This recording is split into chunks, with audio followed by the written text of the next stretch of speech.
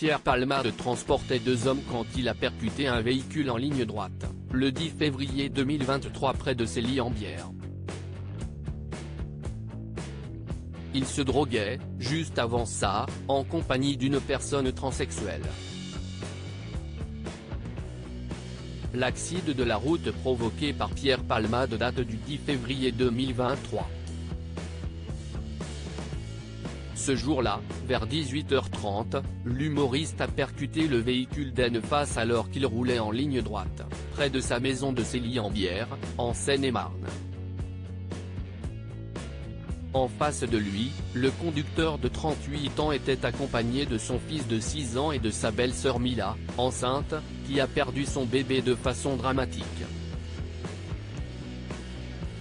Avant de se lancer dans cette dangereuse conduite, dans le but de remplir son frigo vide, l'acteur venait de passer trois soirées de fête, dont l'une a fini de manière tout bonnement épouvantable. Dans sa Peugeot 3008, Pierre Palmade transportait deux hommes qui ont vite pris la fuite juste après l'accident. Il s'agit de Mossine et de Malik, Sam Bou de son vrai nom.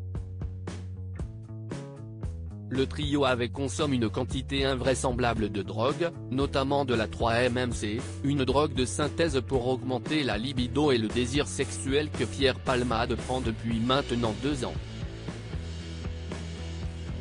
Avant de monter dans sa voiture, le comédien de 55 ans était accompagné d'une personne transsexuelle, avec qui il avait déjà débuté sa consommation abusive, à Paris, d'abord, à Célie-en-Bière ensuite.